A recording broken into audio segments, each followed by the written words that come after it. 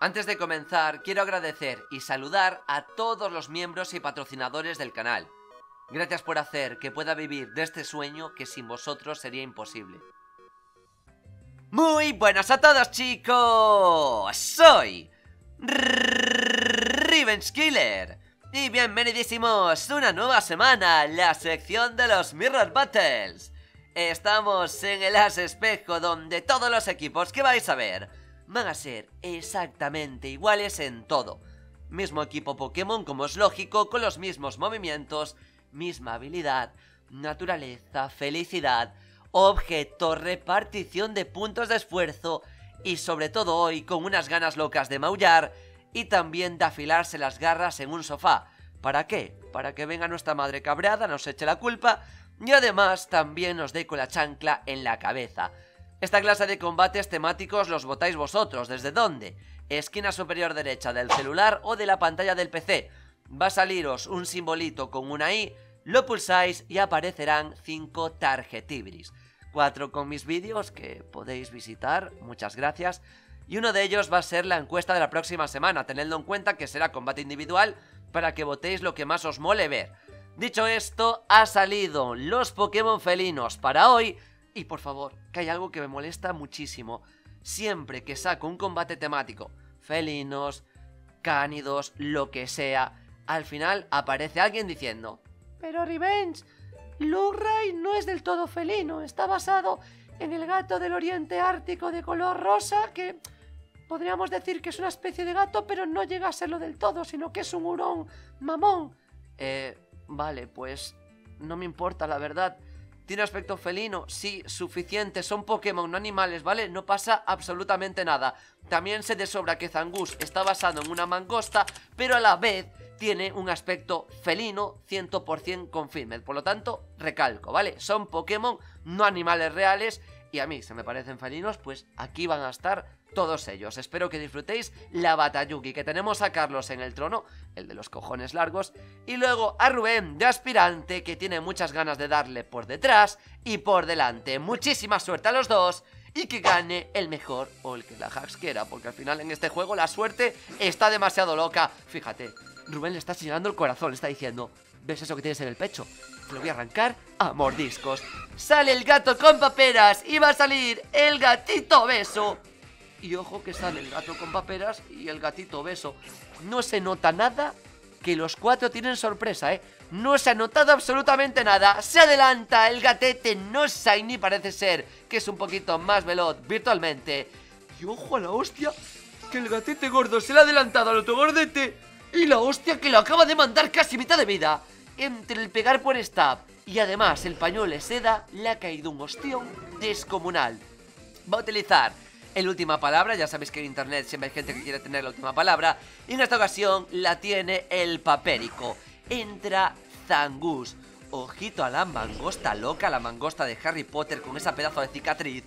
Pero resulta que también la había copiado y había usado la última palabra, con lo cual este Zangus ya entra a menos uno al campo de batalla porque por encima va a salir Kimi Raikkonen que es más veloz que él. Carantoña, no vamos a comer un ostión que la golpe golpe crítico que le ha metido. Pero, pero, pero, Purugli, compañero, ¿qué te está pasando? Le ha tirado el pañuelo de seda con el disarmaco. Y evidentemente, al terminar el turno, Zangus, gracias a su habilidad que le potencia, bueno, imagen más su habilidad, etcétera, mete hostias como panes, estando envenenado. Eso sí, está a menos uno y esto quizás hay que tenerlo en cuenta. Va a entrar el otro Raikou, le ha colado el rayito y Zangus aguanta. Zangus acaba de aguantar a pesar de tener vida fera. Kimi Raikkonen. Y ojo que recibe otro Carantoñen. A, tomar por culo Purugli. Da igual. A tomar por culo el Purugli. Lo ha partido de la boca Harrow estando a menos uno. Pero las hostias que siempre mete Zangus, eh, es que te mete una y no te quedas con ganas de otra. De hecho, le ha golpeado tan fuerte que se ha partido la mano y tiene que ir deprisa al hospital. Lo siento chicos, Purugli al hospital, Zangus al hospital, pero no os preocupéis porque realmente esto no es como... Bueno, como la serie o también como los juegos que van al centro Pokémon, está la enfermera Joy, final feliz, etc. No, no, no, no, no. Allí van a la Pokéball, tienen una sauna tienen tranquilamente una bañera con burbujas y también tienen Pornhub, con lo cual allí se recuperan que ni pintado. Entra Luxray, que por cierto en Shiny es fabuloso. Se ha protegido, le ha caído sorpresita a Kimi Raikkonen. Y ojo que también iba a darle duro a Luxray, pero se ha protegido y no podía hacer nada. Lo va a retirar manualmente. Y entra el gatete con espejo mágico. Entra Espeon. Que oye, sé que hay mucha gente que Shiny no le mola, pero a mí Shiny me parece un Pokémon afro bastante interesante, la verdad. Le va a colar el desalmaco de Sobaco, con lo cual la vida esfera se va a tomar por culo. Y el rayito le saca más de mitad de vida. ¿Por qué? Porque Persian tiene la habilidad, el pelaje recio, que le digamos que le bostea la defensa física, pero no la especial. Por lo tanto, cualquier movimiento de categoría especial le va a hacer más pupitar de la normal. Entra el nuevo Luray para seguir intimidando al papérico y a Kimi, que como no le pongan una botella de vodka delante, este Raikou al final no va a hacer demasiado, la verdad, porque necesita un, poquito, un poquito de, motivación el Kimi. Carlos va a retirar también a este gatete y entra el maravilloso. Es maravilloso. No sé cómo hay alguien que no le gusta. Golpe mordaza. No le has... Fijaos, ¿eh? No le ha sacado nada, evidentemente va por la parte física, el golpe mordaza, ya estaba intimidado, etcétera, y tampoco es muy eficaz. Supongo que lo iba a hacer contra Speon, pero lo ha baiteado fabulosamente fantástico. Va a entrar el otro Persian al campo de batalla, recupera un poquito de vida el del área 51, porque ya os digo yo que este gato ha estado en el área 51 y ha quedado genial. Tiene el movimiento que más me gusta, que es el cambio de tanga. Es jodidamente troll y evidentemente el desarme que le iba a caer a Speon le ha caído a Raikou, que ya tenía poca vida. Pero Tajo Brío la había hecho cuidadín de pu. Que lo deja bastante, bastante jodido. Cuidado a esto, eh. Va a entrar el otro Luray a intimidar. Este es fabulosamente precioso. Y si fuera más amarillo, si no tuviera tanto pelaje negro, la verdad, más amarillito estaría maravillosamente genial. Igual que lo está un Jupa Shiny, igual que lo está un Volcanion Shiny, a mí es que los doraditos, al igual que los celestes, me gustan demasiado. Pero evidentemente Volcanion y Jupa no existen, ¿vale? Si tenéis un Jupa Shiny y un Volcanion Shiny, son fake, son ilegales. El casco dentado le ha dañado al Persian, con lo cual no es del todo bueno. E iba con Tajo Umbriamen. Quería preñarle un poquito, pero ya sabéis, siempre con protección y os evitáis precisamente eso, que entre en el umbrío, ¿no? Va a recuperar vida con los restitos y usa la última palabra para volver a bajarle tanto el ataque físico como el especial al Lugda y el pelos locos ya va a estar a menos uno, no es que golpee también demasiado porque está preparado para defender por la parte física, pero igualmente mete unas toñas bastante interesantes. Raikou y su presión entran al campo de batalla. Acaba de intoxicar a Luray, no Shiny. Ya sabéis que Pokémon gravemente envenenado es Pokémon que se baila la verga. Acaba de envenenar a los dos, cuidado, eh. Cuidado que entre protecciones locas y demás, estos dos Pokémon pueden estar en un severo peligro. Tajombrío lo deja dos de vida. No deja dos de vida. No te puedo creer yo. Eh, Espeón, pues al final sí que has estado en el área 51, en el área 69 y en todas las áreas. Te han metido, no sé qué carajo te han metido en el cuerpo, te habrán metido algún chip extraño y ha aguantado llorando, pero ha aguantado el tajumbrío. Menuda locura, o como bien dice Torbe, puta locura que acabamos de vivir. Va a salir Purugly con el sorpresitas, pero no va a poder hacerlo. Estaba mermado a menos uno por el última palabra, le ha dado igual. Frío y Purugly se va comer rabo. Le cuela el Toxicamen a su compañero, a su hermano. Ya sabéis que aquí las luchas fratricidas, pues la verdad que están a la orden del día, no nos vamos a engañar. Y normalmente tienen herencias chungas y unos, bueno, unas discusiones descomunales. O sea, empiezan a llamarse de todo. Lurra, hijo puta, dame mi dinero, no me vuelvas a hablar, te voy a, a, mandar a mi, bueno, a mi cumbre de abogados de señor Vance, vas a fliparlo. Y el otro no se queda atrás. De hecho, est están todos envenenados, casi en el campo de batalla. Estaba ahí el veneno saltando por todos lados. Esto parece Twitter, chicos, todos envenenados.